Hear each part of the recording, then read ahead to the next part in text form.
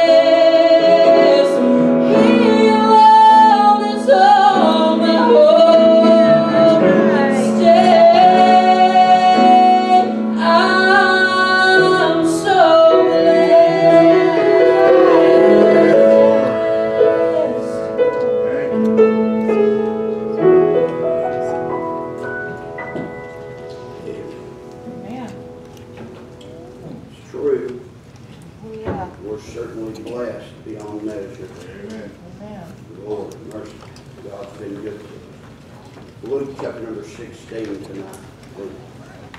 the book of Luke, Gospel of Luke, chapter number sixteen. I don't always understand why God tells me to do what he tells me to do, but I learned if you're waiting to understand it, you'll never be obedient. And uh, so you just do what God tells you to do and trust that he knows what he's doing, uh, because he certainly does. And uh, so tonight, we'll be in Luke chapter number 16, and I want to read a few verses and uh, try to give you the thought that the Lord's given me to preach. Luke chapter number 16, we'll begin reading verse 19. Luke 16, 19. The Bible says, There was a certain rich man which was clothed in purple and fine linen, and fared sumptuously every day. And there was a certain beggar named Lazarus, which was laid at his gate, full of sores, and desiring to be fed with the crumbs which fell from the rich man's table. Moreover, the dogs came and licked his sores. And it came to pass that the beggar died and was carried by the angels into Abraham's bosom. The rich man also died and was buried. And in hell he lift up his eyes, being in torments, and seeth Abraham afar off, and Lazarus in his bosom. And he cried and said, Father Abraham, have mercy on me, and send Lazarus that he may dip the tip of his finger in water and cool my tongue. For I am tormented in this flame. But Abraham said, Son, remember that thou in thy lifetime receivest the good thing, thy good things, and likewise Lazarus evil things. But now he is comforted, and thou art tormented. And beside all this, between us and you, there's a great gulf fixed, so that they which would pass from hence to you cannot. Neither can they pass to us that would come from them. Then he said, I pray thee therefore, Father, that thou wouldest send him to my father's house. For I have five brethren, that he may testify unto them, lest they also come into this place of torment. Abraham saith unto him, They have Moses and the prophets. Let them hear them. And he said, Nay, Father Abraham, but if one went unto them from the dead, they will repent. And he said unto him, If they hear not Moses and the prophets, neither will they be persuaded, though one rose from the dead. Amen. Our Father, tonight, we are grateful and thankful for the good singing we've heard. We're thankful and grateful for another opportunity to stand and open the Bible and preach the contents of it. And Father, I simply want to be obedient tonight, do exactly precisely what you tell me to do. Lord, I pray you to add your blessing to the reading of the Scripture. Lord, I pray the Spirit of God would come, you'd meet with us, you'd help us. Lord, you'd speak to hearts tonight. Lord, I pray you'd, you'd save that one that's nearest hell. Lord, I pray the Holy Ghost would do what I cannot, and that is convict and draw and convert and change the sinner from a sinner to a saint. Lord, may you get glory tonight. May you help us. We certainly need you. In Jesus' name, amen. When we read Luke chapter number 16, we find it contains a great truth that there is a literal place Amen. called hell. Right. You will find down through time people have tried to uh, undo the text that I just read to you. They try to claim that it is a parable. The truth of the matter is it's not a parable Amen. because when Jesus told a parable, he never used a specific name. Right. Right. He would say a certain man went down. Yeah. He never used a specific name. But you'll find in the text, Lazarus is named. And so this story is not a parable. It is a, it is a retelling of actual events that took place. And the rich man really died, and he really went to hell. Right. And you will find that no matter uh, what others think, they may try to air condition hell, but the truth of the matter is this there is a place called hell. Right. We find it's not just a curse word, it's not just uh, a word we use to tell others to go there. It- we, it's not a joke. You will find uh, that it is a real, literal place. It is almost a forgotten doctrine. Right. Yeah. I heard a statistic the other day that said 25% of Americans don't even believe in a literal hell. Yeah. You'll find they got no problem believing in a heaven, Yeah. Mm, but they struggle to believe in a place called hell. That tells me that the devil has done his job. Yeah. But just as sure as there's a heaven, ladies and gentlemen, there is a place called hell. Right. You will find the only way to escape this place is to know Jesus Christ as your Savior. Amen. You will find there is no other way to avoid an eternity in this place. Amen. You will find the only hope, the only escape is to know Jesus Christ. Tonight, there is suffering in hell. You will find the skin of the body bubbles and blisters for all of eternity. You will find that hell has no bottom, according to the Bible. Right. You will find that those who go to hell have a consistent feeling of falling. And as the earth rotates, of course they rotate and it's constant falling. Amen. And that's a miserable thing. Yeah. You will find there is suffering in hell. You will find there are flames in hell. Right. You will find that the wrath of God is in hell for everyone who rejects the free pardon from sin Right. and the gospel of the grace of the Lord Jesus Christ. Amen. And tonight there is a place called hell. Tonight I could uh, stop about anywhere throughout the text and deal with it. I can talk about the suffering that takes place in hell. Right. I can talk about how they're begging for one drop of water. You will find such a stark contrast. There is a rich man on earth. The Bible says this. He fared sumptuously every day. Amen. That simply means anything he laid his eyes on, he could have. Right. That means he wore the nicest clothes. He lived in the finest house. Right. He had servants, no doubt. But you'll find not two minutes into hell, that rich man is turned into a beggar. Right. He is begging Abraham for one drop of water Right. that he may send it and cool his tongue, because he is tormented in that flame. Right. You will find the word torment is mentioned two or three times, and then the word torments is mentioned. And that means there's more than one torment. There are torments, plural. I can talk about the suffering of hell. I can talk about how uh, the eternity in hell, how if you go, you'll never get out. Amen. I can talk about how once an individual is dropped off into hell, they will never, never, never come out. Right. Right. We can talk about the darkness that's in hell. We can talk about how can you imagine that feeling of consistently falling and being tormented in the flames of hell. But to make things even worse, there is pitch black darkness in hell. Amen. Can you imagine the screams of others uh, that are taking place in, ha- in hell right now, tonight?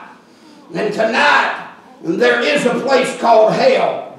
But I, I want to focus tonight. I want to focus on one little word and try to use it to bring you the message tonight as we preach on hell. I want you to notice uh, verse number 24.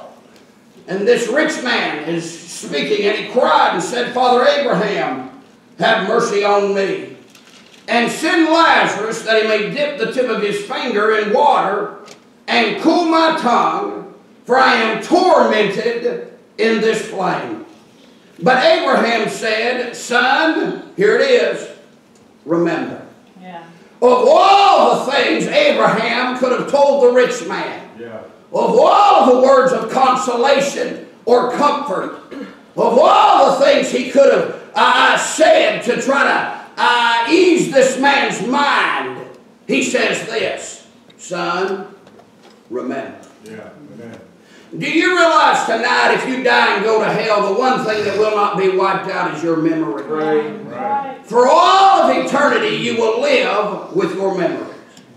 For all of eternity, you will think uh, about your opportunities. You will think uh, about the goodness of God in your life. Amen. You will think about all the wrong that you have done. Right. There will be no doubt that if you die and go to hell, your sin that sent you there will play over and over and over in your mind. Son, remember.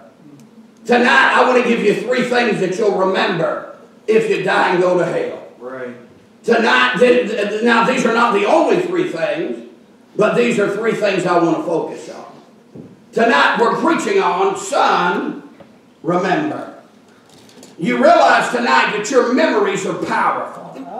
You can hear an old song, and instantly your mind races back 10, 15, or 20 years, and you can recall what you were doing, and who you were with, and where you were at, just simply from a song. Amen.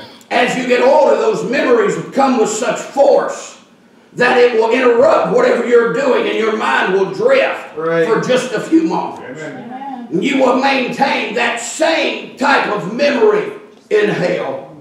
And once you get there, you will remember some things from this life. Right. God's not going to wipe out your memory. God is going to let you live with your memory. Right. Tonight, I do believe that is one of the torments of hell, Yeah. is to end up in that awful place and know you didn't have to go there. Right. No, there was an escape, and no, there was a way out. My, what torment that would be. Yeah. To know that because of neglect and because of a, a, desire to deal with something else or have something else, that you turned your back on Jesus, and now you are uh, eternally in that char- in the, among the charred walls of the damned, Right. never to see relief. Uh, listen, not I could talk about the eternity of hell. Uh, listen, you realize that rich man that Jesus is uh, telling us about. He told that story over 2,000 years ago. And tonight, that man is still in hell and he's still begging for one drop of water. Hear me, for 40 trillion years from now, while you and I are shouting around the throne, this rich man will still be begging, he'll still be suffering, and he'll still be looking for just one drop of water in that awful place. Right. Son, remember. So tonight I want to give you these three things. Number one, you will remember your chances. Right. The only hope you have of staying out of hell is to accept Jesus Christ as your Savior. Right. Amen. There's no other way. Right. Everything and everyone else will lead you to this awful place. Someone said this if you want to go to heaven, trust Jesus Christ. Yeah. If you want to go to hell, trust anything else. Right. Because one road is as good as another, and they all lead to this place called hell. Right. Hear me. Uh, you'll think about all of the messages you've heard. You will think about all of the opportunities that God has nudged your heart Right. and dealt with you about being saved. You will think about every track that was left on your windshield or at a restaurant or in a bathroom somewhere and you saw it and you glanced through it and you disregarded it and never gave it a second thought. You will, your, your mind will run back uh, to every person that ever invited you to church, uh, that ever uh, witnessed to you, that, that, Right. that tried to reach you for the glory and for the honor of God. Hear me. If you die and go to hell, you'll remember every opportunity, every chance that you had to be saved by grace. Right. And tonight, if you walk out of here lost uh, and you die and go to hell, you'll remember uh, me standing here saying you don't have to go. There's a real place called hell. And you'll remember the song that was sung during invitation. You remember I'm uh, looking around seeing Christians praying for you and God dealing with your heart. You'll remember all of that. And you'll have to live with that over and over and over for all of eternity. Right. That's right. How tragic Yeah. That in your mind you'll remember this place. You'll remember this preacher. Amen. You'll remember the songs that were sung. Can you imagine being in hell? And no doubt there are untold thousands there right now. And in their mind, the song, Just As I Am, plays over and over and over in their mind. Because that was the song that was sung during the invitation when God dealt with their heart. God revealed to them they were lost. God revealed to them that Jesus loved them and died for them. Right. God revealed to them that they needed to be saved. But instead of trusting Christ, they held on to the pew and they refused to move. The service closes. They walk out the door and they'll remember that conviction yeah. that the Holy Ghost was all over them and said, You're a sinner right. and you're lost and you're going to hell. Yeah. They'll remember that feeling. I've been convicted and condemned and being pointed to the cross cross of the Savior and they'll realize uh, I did not have to come here. They'll remember every chance, uh, every opportunity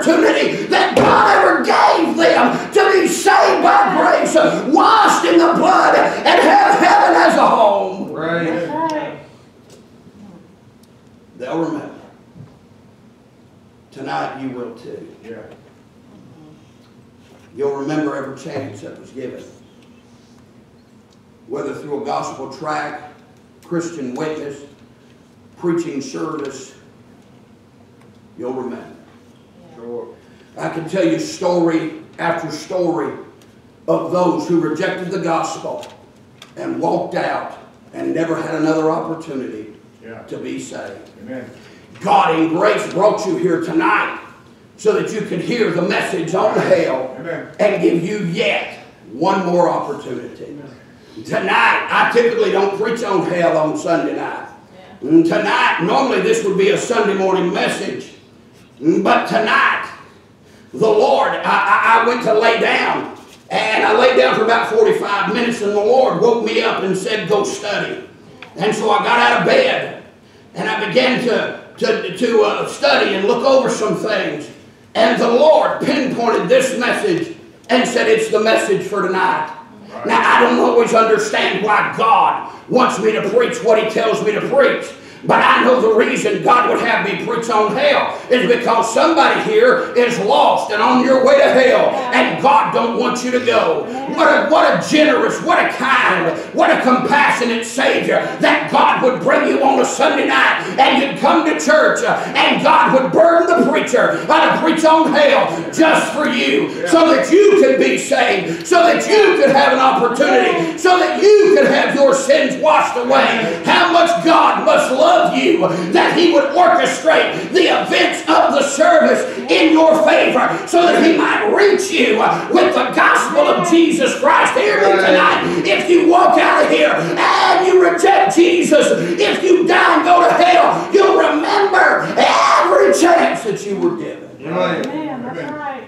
Son, remember. You'll remember your chance. But number two, you'll remember your choice. Right. God is a gentleman. Amen. He will not make you get saved and go to heaven. Right. God will give you the opportunity to walk away and reject His Son. Yeah. You have the opportunity to reject the gospel and the free pardon of sin. God will simply deal with you, convict you, and point you to Calvary. Right. Now, what you do with that conviction is entirely up to you. Amen. God will not force you to come. God will not drag you from a pew. God will not make you get saved. You have free will tonight. You can understand the doctrine of hell. You can understand the suffering of hell. You can understand the eternalness of hell. You can understand the flames of hell. You can understand the suffering of hell and yet decide that, that you do not want to get saved. But hear me, if you make that choice uh, for all of eternity, you will remember uh, this night when you said no thanks to the Savior. You'll remember this night as you suffer, as you burn for all of eternity. This night will play over in your mind, and you will remember you had a choice tonight, and you chose the wrong choice. Right. But right now, you have a choice to choose heaven. Yeah. Right now, tonight, you have an opportunity to be saved. Right. While you're drawing God's good air into your lungs this evening, God is giving you a choice. Amen. You can choose heaven or you can choose hell. Right. If you are willing to repent and turn from your sin and trust the Savior and the Savior alone, you can have heaven as a home. Amen. Right. You may have walked in tonight unsaved, but you can walk out saved and born again and know beyond a shadow of a doubt that heaven is your home. Right. You'll remember your choice from tonight. I do not take it lightly when I preach on hell. I understand it's a big deal. I understand that it matters when we preach on hell. Right. I understand it is not to be taken flippantly or lightly Amen. because God burdens my heart to preach on hell, it means there's somebody that he wants to save under the sound of my voice. And tonight you're going to have a choice to make. In just a little while, Miss Taylor's going to come and she's going to play and she's going to begin to sing. And at that moment, you will have to make a choice. Will you choose heaven and trust Christ or will you reject Jesus and walk out of here lost and potentially die and go to hell. Listen, God giving you one more chance tonight. And if you reject it, it may very well be your last opportunity right. to ever have heaven as a whole. What a gracious, what a kind God that we have, that it be willing to give you another chance just to be saved by grace. Right. You'll remember your chance. Amen. Yeah. You'll remember your choice.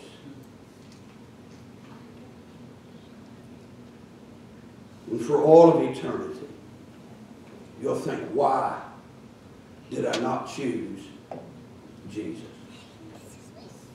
As you suffer, as you burn, as you fall, as you fumble around in pitch black darkness, the thought that runs through your mind more than anything is why didn't I trust Jesus? Right. Right. Why did I say no to the cross? Why did I uh, not heed the words of that preacher and the words of the Bible? Right. Why didn't I just trust him and get saved by grace? Now I am in this awful place and I will never get out. Right. You'll remember your chance. You'll remember your choice. Yeah. Right. Yeah. See, here's what happens. We don't like to think this way. We like to think about the right now, yeah. the this instant. But you realize the choice you make tonight may affect the next 40 billion years. See, we don't like to think about the future impact of our choices. Right. But you realize tonight, you say, well, I'll say no to Jesus, I'll get saved later. They may not be a later. Right. This may be it. This may be your only opportunity. And if God I let you draw your last breath tonight before you get home and you end up in hell, He's still been a good God by giving you another chance to get saved. Right. You won't be able to blame, blame the Lord. You won't be able to blame the church. Right. You won't be able to blame me because the truth is being preached. The Spirit will no doubt convict. Right. And you have every opportunity. You won't have anybody to blame but you. Amen. Right. You will have to accept total and complete and full responsibility for dying and going to hell. Right.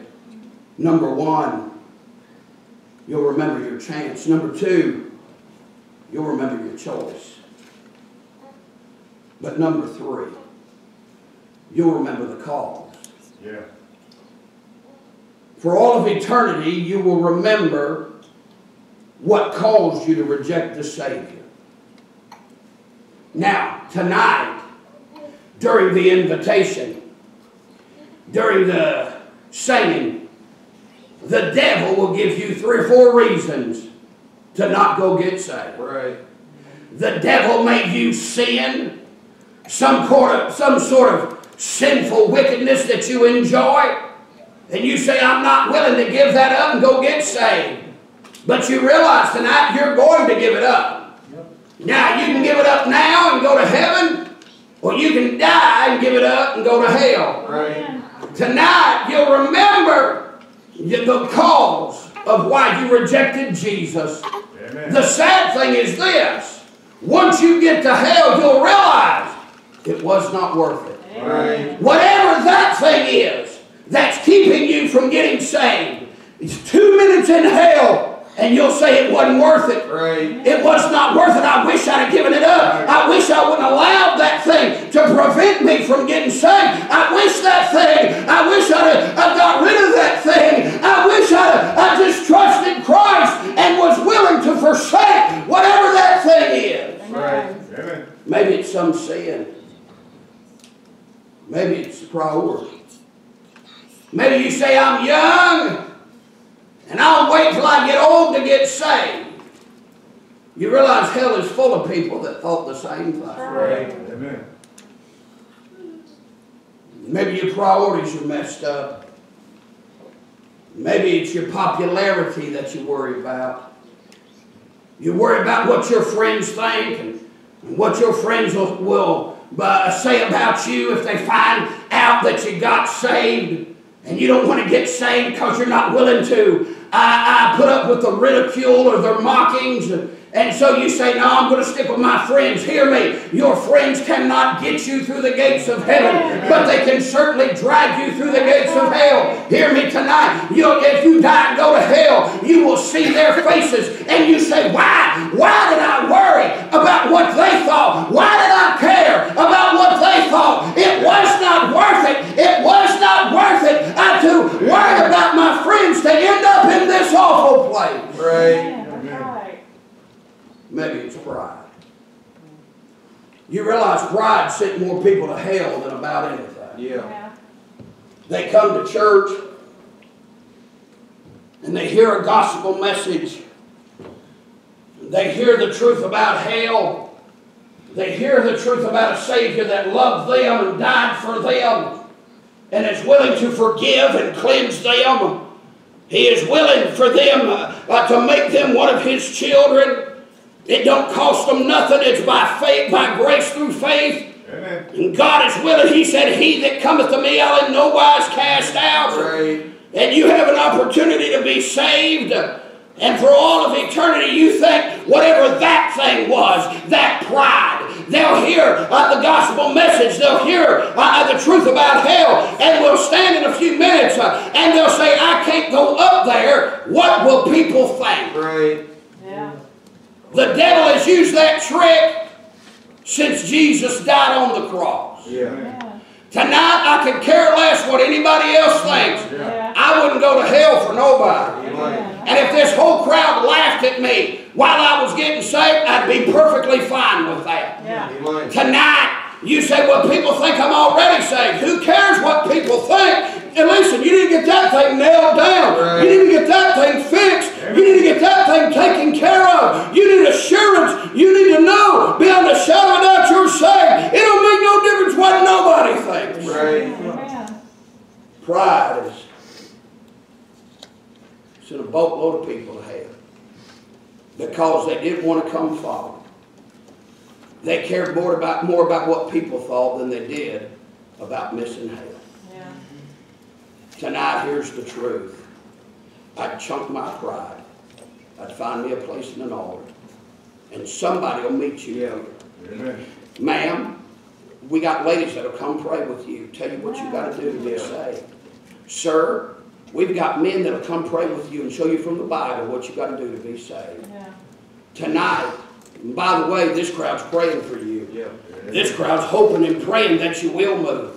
This crowd ain't going to laugh at you. This crowd's going to think you got better sense than most people on the planet. Yeah. That you fled from your sin and trusted Christ as your Savior. But tonight, hear me, here's the truth of that thing. You're a sinner. You have sinned against God. You have broken the commands of God. You have violated God's law, and you are guilty tonight. You are guilty. Uh, not just on here on earth, but you're more importantly, you're guilty in heaven's court. You are a violator. You are a sinner. You are. Uh, you have uh, broken God's laws, uh, and you are guilty tonight. And second of all, this uh, God's not just going to sweep your sin under the rug. Right. God's not just going to say, "Ah, don't worry about it." No, sir. God's holiness demands payment for your sin. And that's why Jesus came. That's why he bled. That's why he died. So that he could pay for your sins. And if you reject Jesus, the only person left that can pay for your sins is you. You know why hell's eternal? Because you'll never get them paid for. You'll never suffer enough. You'll never uh, uh, uh, cry enough. You'll never pray enough to ever get your sins paid for. Amen. The good news is you don't have to. Amen. Jesus already did. And so tonight you're going to have an opportunity to come. You're going to have an opportunity to trust Christ. Don't let your pride keep you from coming. You say, but, but I've been in church my whole life, and people think I'm saying, who cares what they think? Right. This thing ain't between you, them, and everybody else. Yeah. This thing's between you and God. And hear me tonight, God don't have any grandkids. Right. You say, what do you mean? God only has children. You ain't getting in because mom and daddy got in. Right. You're not getting into heaven because mom and daddy's got saved and going to heaven. You will have to make a personal decision to trust Christ all by yourself. And that's the only way you'll ever make it to heaven. Tonight, Jesus loves you. He knew what you were. He knew what you've done. He knows where you've been. He knows all about you. Yet He loves you fully and completely. The Bible says, and while we were yet sinners, Christ died for us. God looked down through the eons of time. So you sitting here tonight on your way to hell. He knows every sin. He knows every thought. He knows every action. Yet He loved you anyway. And He's willing to forgive you and cleanse you. He went to the cross and bore both barrels of the wrath of God to pay for your sin and the wrath that God had against me and others here are saved. Instead of pouring it out on us, He poured it out on Jesus so that you and I could go free. Amen. Jesus loves you. Amen. He died for you. And He's willing to forgive you and save you if you'll come. Amen. Tonight, there ain't no alternatives. Right. It's heaven or hell. It's Jesus or nothing. Yeah. Amen. Those are the only options you've got. Tonight, I ask you this as Miss Kayla makes her way to the piano. Are you 100% sure that you're saved?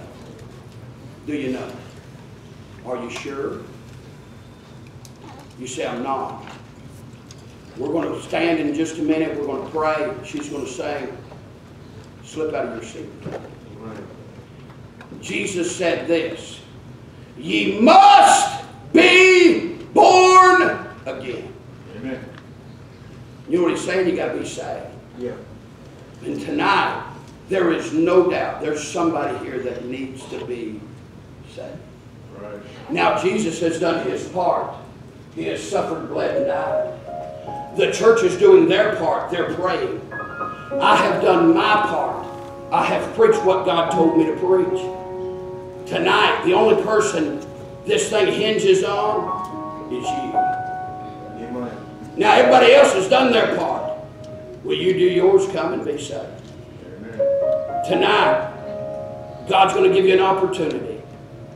And tonight, if I were you, I wouldn't walk. I'd run to Jesus and get saved by grace tonight. I'd settle that thing tonight as we stand. Father, I've done my best to be obedient. Lord, I've preached what you told me to preach. And I've given these dear folks what you've given for me. And this, this evening, Lord, I pray, Father, that you would move upon, you would deal with, you would convict, you'd draw, and you'd save folks tonight. For your honor and for your glory. Lord, may the Holy Ghost convict. May you draw them individuals and save them by your grace. Lord, we'll be careful to give you the praise, the honor, and the glory for it all. We love you. We thank you. I pray you'd bind all the forces of hell, that the Spirit of God would have free rein and free course. May you work, move, and bless. And may you save sinners tonight and get glory unto thyself. In Jesus' name, amen.